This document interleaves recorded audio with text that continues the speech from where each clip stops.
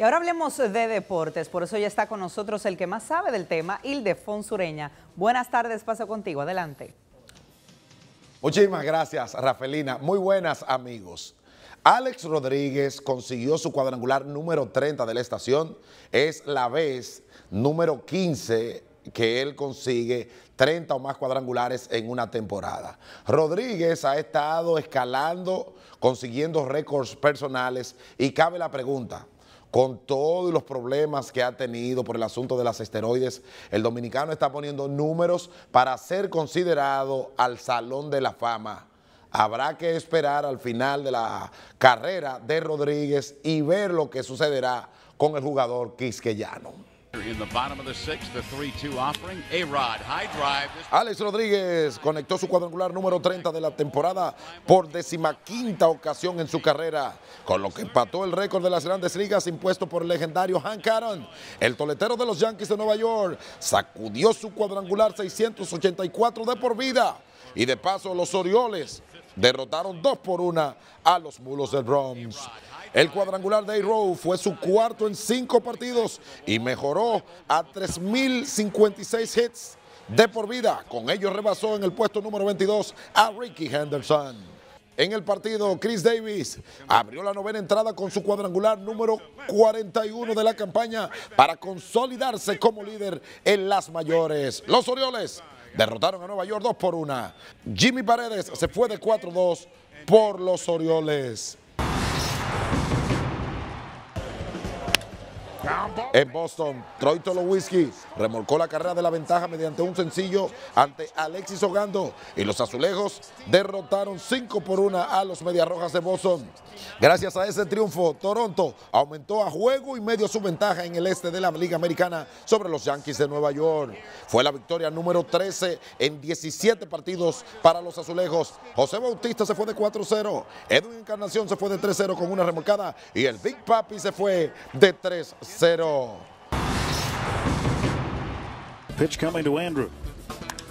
Andrew McCutcheon batió un jorrón de tres carreras y Francisco Liriano lanzó seis entradas en blanco y finalmente venció a los Rojos de Cincinnati luego de 11 intentos en su carrera. La victoria de 7 por 3 de los Bucaneros sobre los Rojos. Liriano llegó al partido en 10 aperturas con 0 y 5 en contra del Cincinnati. El zurdo permitió tres hits, ponchó a 10 y no permitió que ningún corredor avanzara más de la segunda base. Stanley Marte se fue con tres hits en el partido.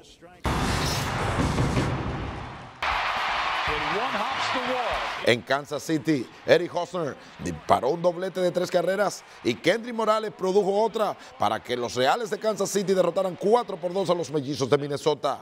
Edison Volquez se serenó luego de un comienzo turbulento para compartir la labor de seis episodios en la que toleró seis hits y dos carreras. Dani Santana se fue de 1-0 en el partido. Johnny Cueto se está estabilizando con su nuevo equipo, los Reales de Kansas City. Enhorabuena para el dominicano definitivamente. Llegamos al final de los deportes. Continuamos. Sí, es gracias Ildefón Sureña. Continuamos con otras informaciones y tenemos que la Policía Nacional expulsó y puso a la disposición de la justicia a 11 agentes quienes aparecen en las redes sociales ingiriendo cervezas en la parte trasera de una camioneta uniformados, esto luego de realizar un embargo ilegal en San Francisco de Macorís.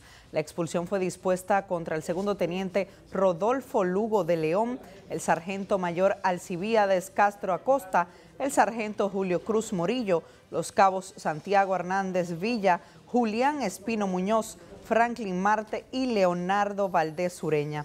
La policía informó que también fueron cancelados los rasos Randy Rizarri Peralta, Juan Carlos Almanzar, Leonardo Robles y Luis Alberto Marte. Y con el lema A Paso Firme, el Club Mauricio Báez anunció este miércoles el programa de actividades del 52 aniversario de la entidad que se llevará a cabo del 10 al 20 del presente mes. Dentro de estas actividades se estarán realizando encuentros deportivos, artísticos y recreativos. El Club Mauricio Báez está ubicado en el sector Villa Juana de esta capital y fue creado el 11 de septiembre de 1963.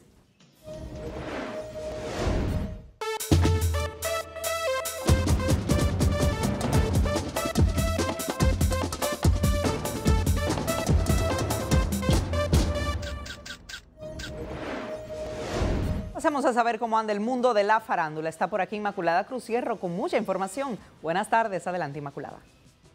Muchísimas gracias, Rafaelina. Muy buenas tardes a todos. Y hoy les contamos qué dice Roberto Ángel Salcedo sobre las críticas que le hacen a sus películas. También Kim Victoria y Felipe Polanco Boruga nos cuentan qué traen en el show de humor que presentarán el próximo 17 de septiembre. Por primera vez, Roberto Ángel Salcedo se reunió con el grueso de la prensa dominicana y ofreció detalles de su nueva película Todo Incluido, que estrena el próximo 24 de septiembre. Durante el encuentro, Salcedo fue abordado sobre cómo asumía las críticas y dijo que éstas no le eran estorbos para seguir trabajando, más agradeció a quienes se toman su tiempo para criticar su trabajo. Todo incluido trae la participación de Fausto Mata, Jerry Blanco, Bolívar Valera y Robert Sánchez, entre otros. No vuelvo a tomarme un trago más. Toma. Gracias. Todo incluido. Desde hace unos años, Cuquín Victoria y Felipe Polanco no trabajan juntos en un escenario. Este 17 lo harán en Alcro Café en el show Humor del Bueno. En una rueda de prensa, Cuquín adelantó lo que trae esta vez en el escenario. Y ahora tenemos una serie de ingredientes que son parte de, de lo que nos ha pedido Néstor, que es utilizar personajes de los que utilizamos en aquellos años en la televisión. En tanto que Polanco se refirió que el público revivirá y disfrutará con los personajes que lo hicieron famosos. Que esos personajes se quedaron en el pueblo, que la gente los quiere, que los quiere ver y eso pues motiva a uno a seguir trabajando y haciendo cosas porque la gente siga llamando a uno, ¿tú me estás entendiendo? En otra información, el cantautor colombiano Juanes afirmó sentir mucha tristeza y mucha rabia por las expulsiones masivas de sus compatriotas desde Venezuela y se mostró dispuesto a participar en un concierto u otras iniciativas para resolver la crisis. Dijo que cuenta con grandes amigos como Juan Luis Guerra, Olga Tañón, Ricky Marti y Alejandro Sainz, quienes lo podrían apoyar. Y Marc Anthony participará mañana en la ceremonia de inicio de construcción en Puerto Rico de un orfanato para niños retirados de sus hogares por haber sido víctimas de abusos físicos, emocionales o sexuales. El artista borico asistirá al acto para la edificación del Hogar San Miguel junto a su promotor de eventos, Henry Cárdenas, y miembros de la Fundación Maestro Cares, que han construido orfanatos en República Dominicana y Colombia. Bueno, y muy linda la causa que está llevando Marc Anthony, no solamente aquí en República Dominicana, miren cómo abrió un orfanato también en Puerto Rico. Vamos a saludar esta iniciativa y ojalá que otros artistas también se sumen a esta causa. Es todo lo que tenemos, será hasta mañana. Hermosa labor. Gracias, Inmaculada, y a ustedes, amigos, por su sintonía en esta emisión de Noticias Telemicro. Será hasta mañana. Que Dios les bendiga a todos. Bye, bye.